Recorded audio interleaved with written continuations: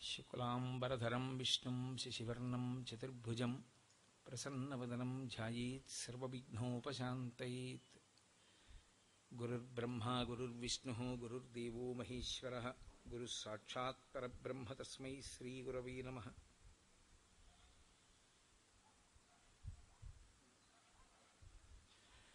श्रीगुरवे व्यासाय व्यासरूपाय विष्णवे, नमो वै ब्रह्मनिधये वासिष्ठाय नमो नमः। కూజంతం రామ రామీతి మధురం మధురాక్షరం ఆరుహ్య కవితాశాఖాం వందే వాల్మీకికోకిలం శృతిస్మృతిపురాణానాం ఆలయం కరుణాలయం నమామి భగవత్పాదశంకరం లోకశంకరం. వాగర్ధామివ సంపృక్తౌ వాగర్ధప్రతిపత్తయే జగతః పితరౌ వందే పార్వతీపరమేశ్వరౌ సూక్తిం సమగ్రేతున స్వయమైవ లక్ష్మీ శ్రీరంగరాజమహిషీ మధురై కటాక్షై. వైదగ్ధ్యవర్ణగుణగుంభనగౌరవైర్యాం కండూలకర్ణకుహరా వయోధయంతి హైమోర్ధ్వపుండ్రమజహన్మకుటం సునాసం మందస్మితం మకరకుండలచారుగండం బింబాధరం బహుళదీర్ఘకృపాకటాక్షం శ్రీవేంకటేశముఖమత్మని సన్నిధత్తాం విమలపటి కమలకుటి పుస్తకరుద్రాక్షసస్తహస్తపుటి కామాక్షి పక్ష్మలాక్షి కలిత విపంచి విభాసి వైరించి మనోజవం మరుతతుల్యవేగం జితేంద్రియం బుద్ధిమతాం వరిష్టం వాతాత్మజం వనరయూధముఖ్యం శ్రీరామదూతం శిరసా నమామి. ఆపదామపహర్తారం దాతారం సర్వసంపదాం లోకాభిరామం శ్రీరామం భూయో భూయో నమామ్యహం. హరి ఓం. పరమేశ్వర స్వరూపమైన సభకి నమస్కారం.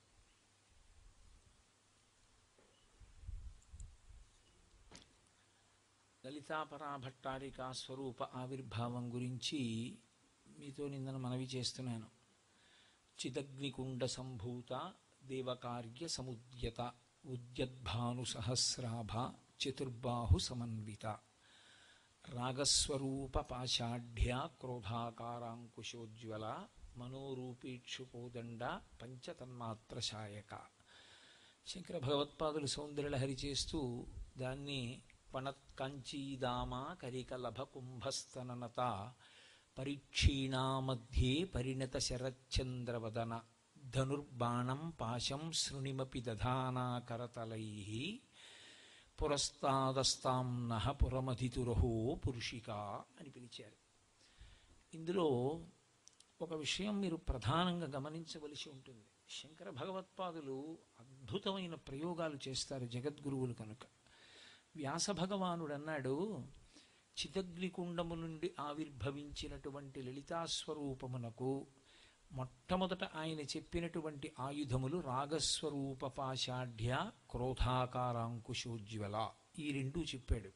పాశము అంకుశము చెప్పాడు. శంకరులు ముందు పాశము అంకుశము చెప్పలేదు. ధనుర్బాణం పాశం శృణిమపి దధానాకరతలై అన్నారు. అంటే ధనస్సు బాణములు ముందు శంకరాచార్యులు వారు చెప్పారు. వ్యాసో నారాయణ స్వయం. వ్యాసుడు శంకరుల చేతనే కాదు సర్వలోకము చేత పూజింపబడతాడు. ఆ వ్యాస భగవానుడిచ్చినటువంటి పదహారు సంవత్సరముల అదనపు ఆయుర్దాయంతో శంకర భగవత్పాదులు ముప్పై రెండు సంవత్సరములే ఈ భూమండలం మీద ఉన్నారు. శంకరులకు వ్యాసుడంటే మహాభక్తి. అటువంటిది వ్యాస భగవానుడు లలితా సహస్రంలో చెప్పినటువంటి ఆయుధ క్రమాన్ని శంకరులు శ్లోకంలో మార్చారు. అంటే ఎందుచేత మార్చి ఉండాలి? అన్నదాని కొరకు మీరు ప్రయత్నిస్తే మీరు దాని మీద బాగా ఆలోచన చెయ్యడమే తపస్సు. ఒక శ్లోకం గురించి మీరు బాగా ఆలోచన చెయ్యాలన్నది శంకరుల కోరిక. మీరు ఇలా ఎందుకు మార్చి ఉంటారు శంకరాచార్యులు వారు? ముందు ఎందుకు ఆయన పాశాన్ని అంకుశాన్ని చెప్పకుండా? ధనుర్బాణములను శంకరులు ఎందుకు చెప్పాలి? అలా చెప్పడం మంచిదా? పాశము అంకుశము చెప్పడం మంచిదా? అంటే ఒక్కటే. శంకరులు కూడా వ్యాస భగవానుణ్ణి కీర్తిస్తారు. వ్యాస భగవానుణ్ణి గౌరవిస్తారు. వ్యాసునకు నమస్కరిస్తారు. కాబట్టి వ్యాసుడు చెప్పినది దోషమని శంకరుల ఉద్దేశ్యం కాదు. ఇలా శంకరులు చెప్పినా ధనుర్బాణముల కన్నా అంకుశము పాశము చెప్పడమే ప్రధానం. పాశాంకుశములు ముందు చెప్పడమే యథార్థం. అదే సత్యం. తను కొద్దిగా కిందకి దిగిన వ్యాస హృదయం మనకి బాగా అర్థం అవ్వడానికి ఆయన క్రమాన్ని మార్చారు. ఇందులో మొదటిది రాగస్వరూప పాషాఢ్య రెండవది క్రోధాకారాంకుశోజ్వల మనోరూపేక్షు కోదండ. అమ్మవారు చేతిలో చెరుకు విల్లు పట్టుకుంటుంది. చెరుకుతో తయారు చేయబడిన ధనస్సు. ఇంకొక చేతిలో ఐదు బాణములు పట్టుకుంటుంది. ఈ ఐదు బాణములు పుష్పబాణములే ఐదు ఐదు పువ్వులు. ఈ ఐదు పువ్వులనే అరవిందము అశోకము నవమల్లికము నీలోత్పలము చూతము అంటారు. ఈ ఐదు పువ్వులు పట్టుకుంటుంది. ఒక చేత్తో చెరుకు విల్లు ఒక చేత్తో ఐదు పుష్పబాణములు. ఇవి అమ్మవారి ఆయుధములు కావు. మీరు జాగ్రత్తగా గమనించి చూస్తే ఇవి పరదేవతకి సంబంధించిన ఆయుధములు కాదు. ఈ ఆయుధములు ఎవరివి అంటే మన్మధుడివి మన్మధుడు పట్టుకోవలసినటువంటి ఆయుధాల్ని అమ్మవారు తీసుకుంది. అమ్మవారి చేతిలో ఉన్నవి చెరుకు విల్లు పుష్పబాణములే. మన్మధుడి చేతిలో ఉన్నవి చెరుకు విల్లు పుష్పబాణములే. మన్మధుడి చేతిలో చెరుకు విల్లు పుష్పబాణములు ఉన్నంతసేపు ఉన్నంతసేపు అంటే నా ఉద్దేశ్యం ఆయన ఆ ధనస్సుని ఎక్కుపెట్టి బాణప్రయోగం మన మీద చేసినంతసేపు ఇంద్రియ లౌల్యముతో తిరుగుతూ ఉంటాడు. పరదేవత తేజస్సుని నింపుతూ ఉంటుంది శరీరంలో. రోహిణీ తత్వము అంటారు. రోహిణీ స్వరూపిణి అయి ఈ శరీరంలో తేజస్సుని ప్రతిరోజు నింపుతుంది ఆవిడ. ఈ తేజస్సు అధోముఖంగా నష్టమైపోతే అది వక్రదృష్టి చేత చంద్రునితో చూడబడినది అంటారు. అది దాని వలన పురుషుడు తేజస్సు పోగొట్టుకుంటాడు. దాని వలన సాధనాక్రమంలో పైకి ఎదగలేడు. అమ్మవారి అనుగ్రహం ఉండడం అంటే మన్మధుని యొక్క బాణములు పడితే ఇంద్రియముల యొక్క లౌల్యమునకు గురి అయి విషయ ప్రపంచమునందు సుఖములను కోరుకుంటాడు. చెరుకు ఇల్లు అంటే చెరుకు కర్రతో ఉంటుంది. అది పైనుంచి కింద వరకు మీరు ఎట్నుంచి కొరికి చూడండి తీయగా ఉంటుంది. పువ్వులలో మకరందం ఉంటుంది.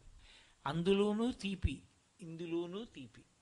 ఈ రెండూ తీయగా ఉండడం అన్న మాటకు అర్థం ఏమిటంటే ప్రపంచంలో ఐదు ఇంద్రియముల చేత అనుభవింపబడేటటువంటి సమస్త విషయముల యందు మాధుర్యమును చూస్తూ ఉండడం.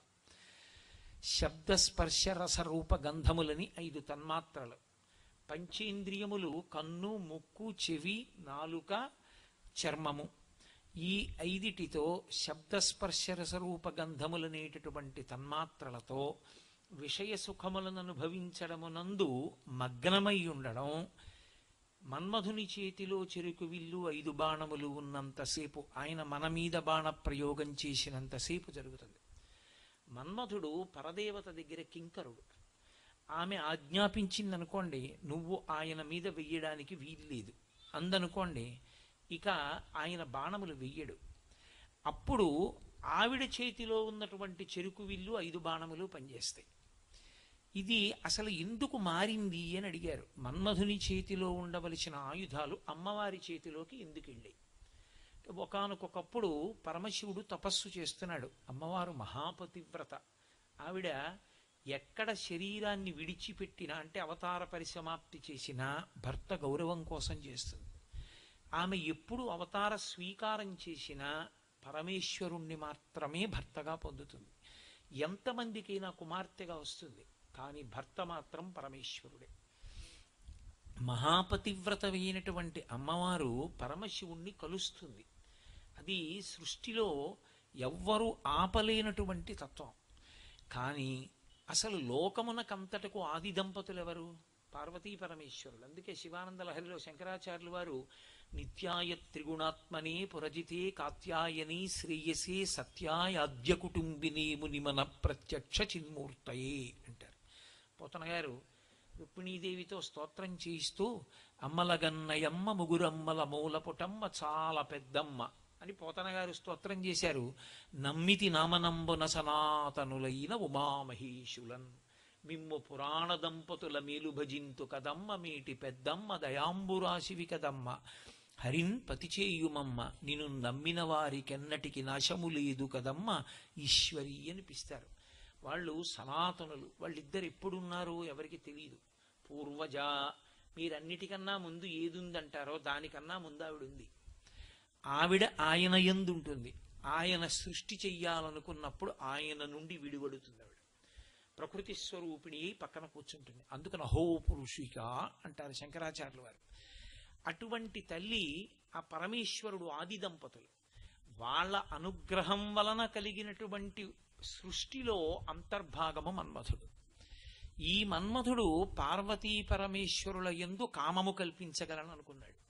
ఇది హద్దు దాటడం అంటే ఇది ఆయన చెయ్యకూడని పని ఎక్కడ చేశాడంటే అయితే మన్మధుడికి తెలియక చెయ్యలేదు. మీరు వీరభద్ర విజయం చదివితే మీకు బాగా అర్థం అవుతుంది. ఆయన రతీదేవి దగ్గరికి వెళ్ళి చాలా బాధపడ్డాడు. ఇది నేను చెయ్యకూడని పని.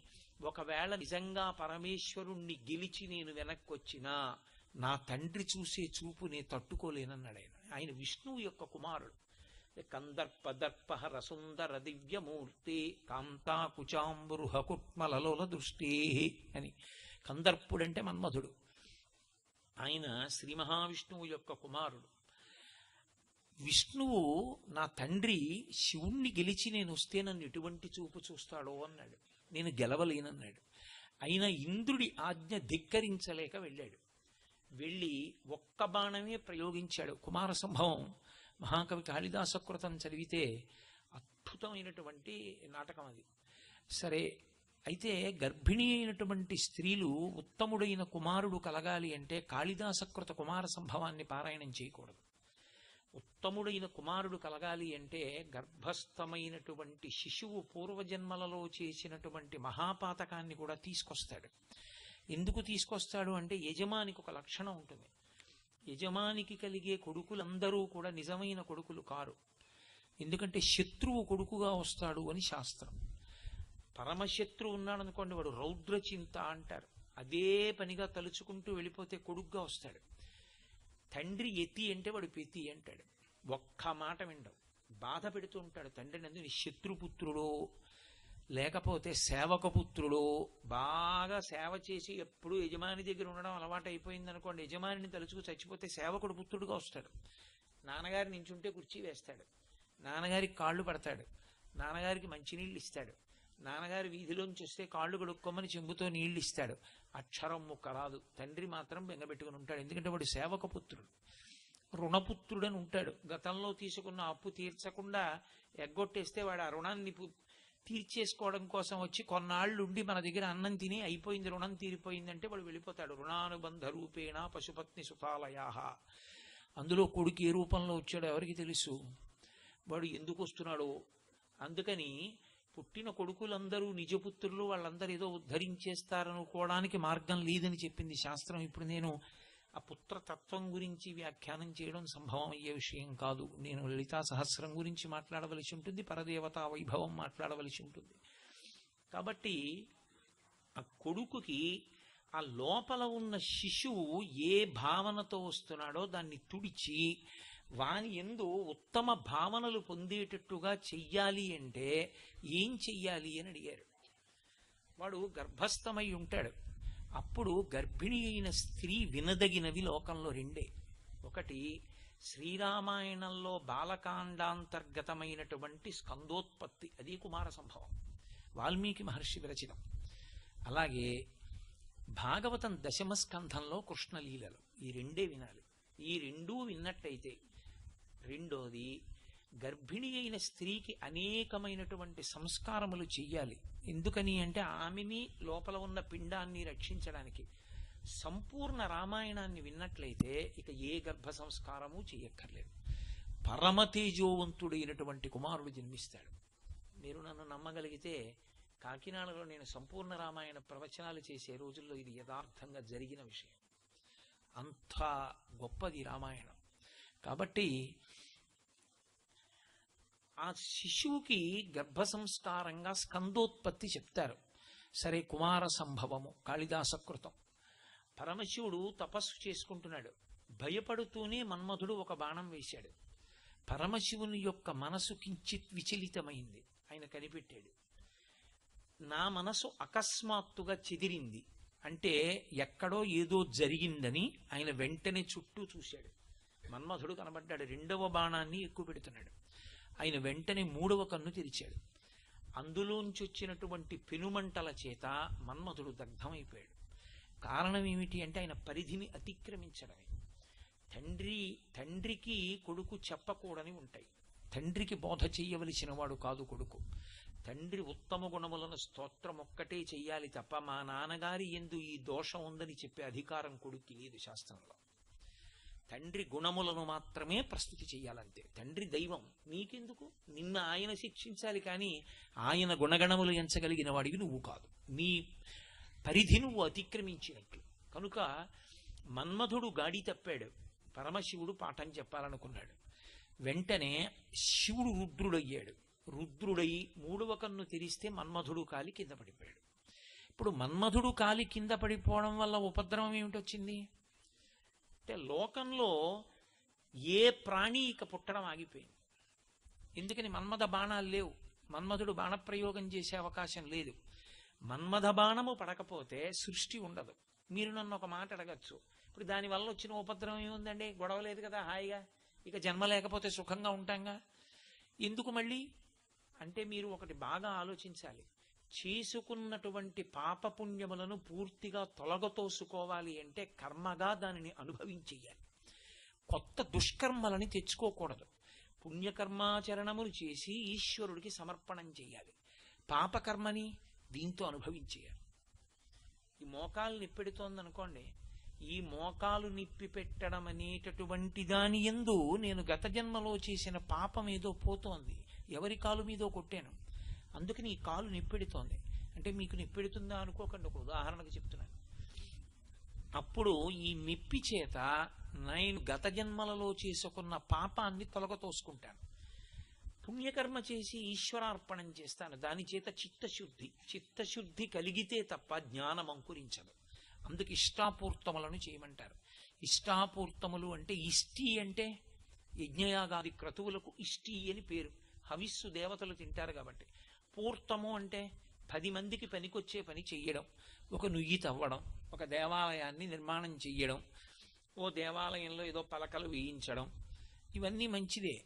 కానీ ఇష్టాపూర్తములను చేసుకుంటూ వెడితే నువ్వు తరించడం మాత్రం ఉండదు.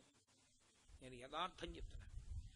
ఇష్టాపూర్తములు దేని కొరకు చెయ్యాలి? చిత్తశుద్ధి కొరకు చెయ్యాలి. చింతపండుతో పాత్రని బాగా తోమారు. పాత్రకి శుద్ధి కలిగింది. ఇప్పుడు ఆ పాత్ర ప్రయోజనం ఏమిటి? అది పాయసం పోస్తే ఏమీ లేకపోతే మళ్ళీ కిలింపడుతుంది అది. చిత్తశుద్ధి కలగడానికి మాత్రమే ఇష్టాపూర్తములు. అదే పనిగా ఇష్టాపూర్తాల్ని చేసుకుంటూ వెళ్ళిపోయిన వాడు తరించలేడు. కుదరదు. తరించడం దేనివల్ల జరుగుతుందో తెలుసా? ధ్యానము చేత. మీరు అంతర్ముఖత్వాన్ని పొంది ఈశ్వరుడికి దగ్గరవ్వాలి. అందుకే అంతర్ముఖ సమారాధ్య బహిర్ముఖ సుదుర్లభ. బయట చేసేది ఎందుకు చెయ్యాలి అంటే చిత్తశుద్ధి కొరకు చెయ్యాలి. తప్ప అది పది మందికి తెలియడం కోసం చేయకూడదు. పది మందికి తెలియ చెప్పవలసిన అవసరం ఆదర్శంగా ఆవిడ్ని చూపించడానికి చెప్పచ్చు. కానీ ఆవిడ గురించి అలా చెప్తున్నప్పుడు ఆవిడ తెర వెనక్కి వెళ్ళిపోయి చెమటలు పట్టేస్తే మంచి లక్షణం. ఇద్దరి ఎందు మంచి లక్షణమే పది మందికి ఆదర్శంగా చూపించాలని ఒక ఆవిడ అనుకున్నారు. నాకు ఎందుకు ఈ పొగట్ట ఈశ్వరుడు నా చేత చేయించాడు తప్ప నేనంత అర్హురాల్లా అర్హురాలా అని ఆవిడ అనుకున్నారు. ఇద్దరూ మంచి పనే చేశారు. నేనే చేశానన్న అహంకారం మాత్రం రాకూడదు. అది చిత్తశుద్ధి అంటారు. నా అదృష్టం. ఈశ్వరుడి చేతి ఉపకరణం అవగలిగాను. ఈ దేవాలయం ఎన్ని శతాబ్దాలైనా ఇలా ఉండిపోతుంది. ఎంతమంది భక్తులు సేవిస్తారో ఎన్ని ఉత్సవాలు జరుగుతాయో ఎన్ని ప్రవచనాలు జరుగుతాయో కట్టిన జీవుడు తరించట్లా? ద్రవ్యం ఉంటే ఏమైంది? ఈశ్వరుడు నీ వంశాన్నంతటిని తరింపచేశాడు ద్రవ్యాన్ని వినియోగించుకుని. అందుకు ఆయనకి కృతజ్ఞురాలవై ఉండడం కృతజ్ఞుడవై ఉండడం చిత్తశుద్ధి. చిత్తశుద్ధి కొరకు ఇష్టాపూర్తములను చెయ్యాలి తప్ప ఇష్టాపూర్తములే చేసుకుంటూ వెడితే దానికి అర్థం ఉండదు ఇంకా. దానికి ఎక్కడ ముగింపు ఉంటుంది నాకు చెప్పండి? ఎన్నాళ్ళు మీరు పాత్ర శుద్ధి చేస్తూ కూర్చుంటారు?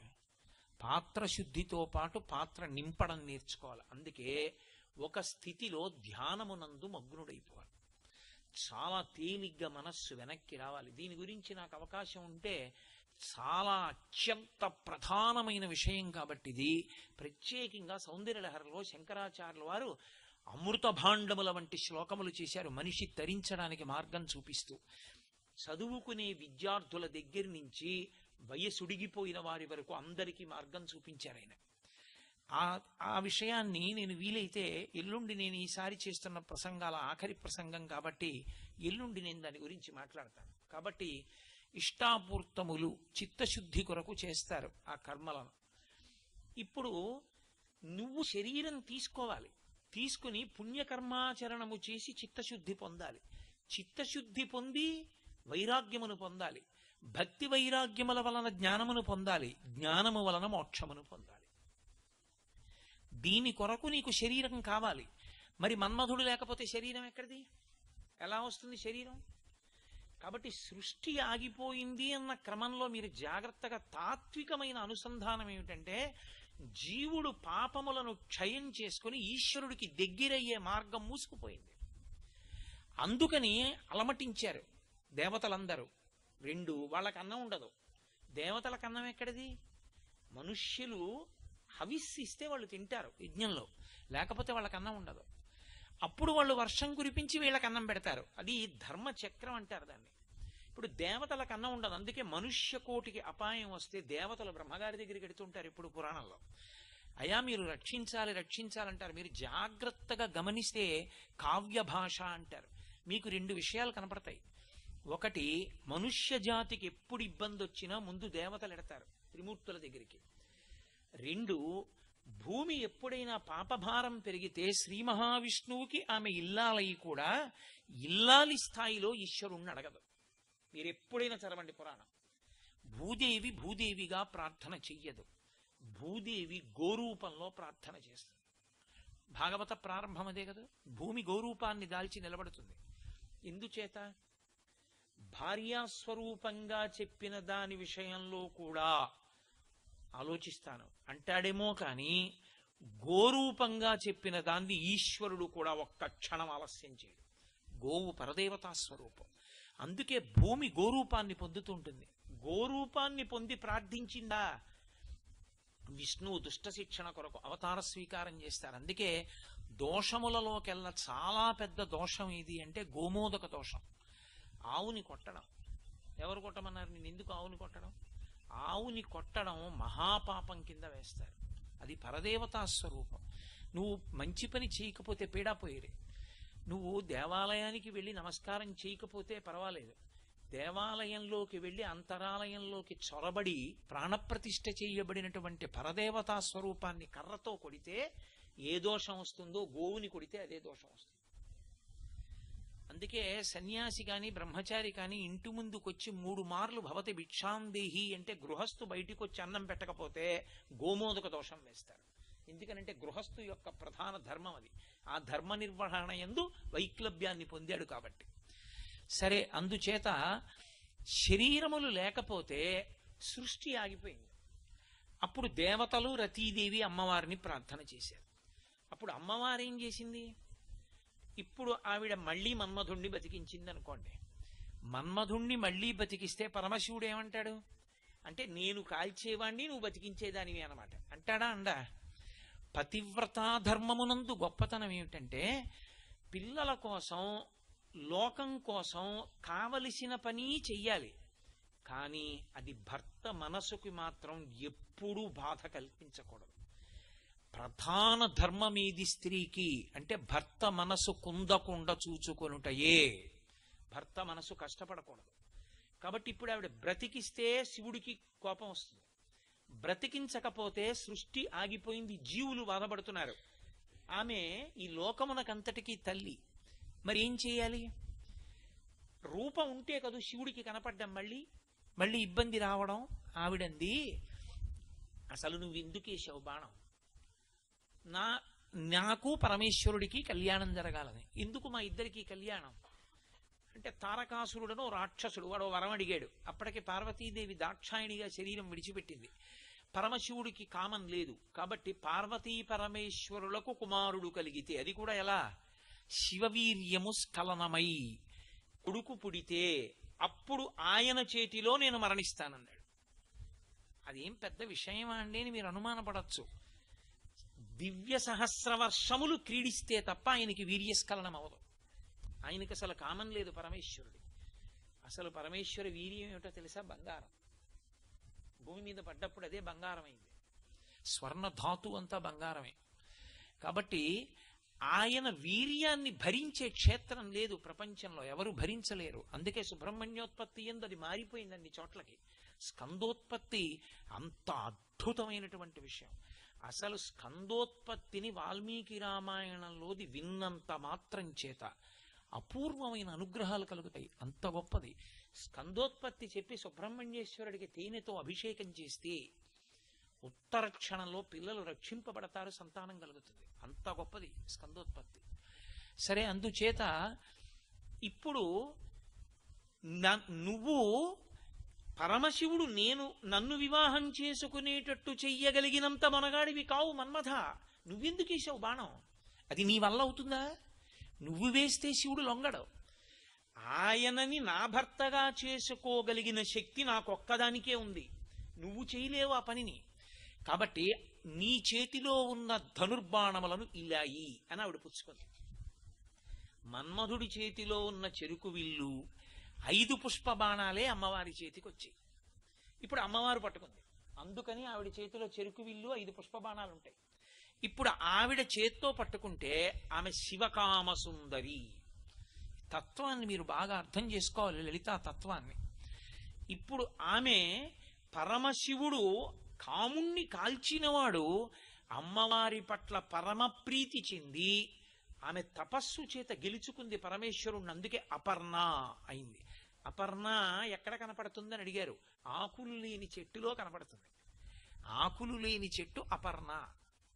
ఓ చెట్టు శిశిర ఋతువునందు ఆకులు రాల్చి మోడుగా నించుందనుకోండి అది అపర్ణాస్వరూపం దాన్ని పూజ చేస్తారు. అందుకే తెల్ల మేఘాన్ని ఆకులు రాలిన చెట్టుకి పూజ ఉంది ప్రత్యేకంగా. కాబట్టి అది అపర్ణాస్వరూపం అప్పుడు శివుడు ఎక్కడున్నాడని అడిగారు. నమో వృక్షేభ్యో ఆ చెట్టు రూపంలో ఉన్నవాడు శివుడే. మరి సుబ్రహ్మణ్యుడు ఏడని అడిగారు స్కంద దాని కొమ్మలు ఎండిపోయిన కొమ్మలే సుబ్రహ్మణ్యుడు.